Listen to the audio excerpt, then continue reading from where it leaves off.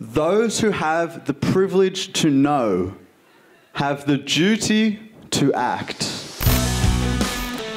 Kindness is like a muscle. The more that we use it, the stronger that it becomes. I thought, this is my mission.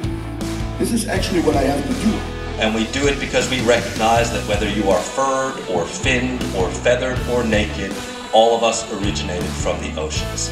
We, the people in this room tonight, are on the right side of history.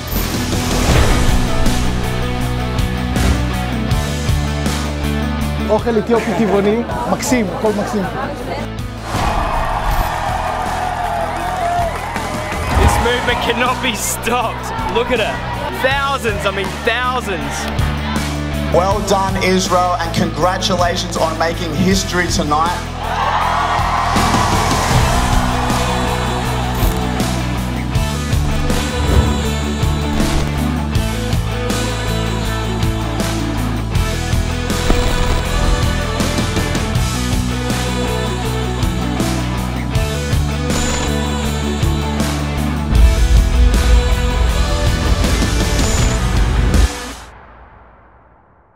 One person does make a difference.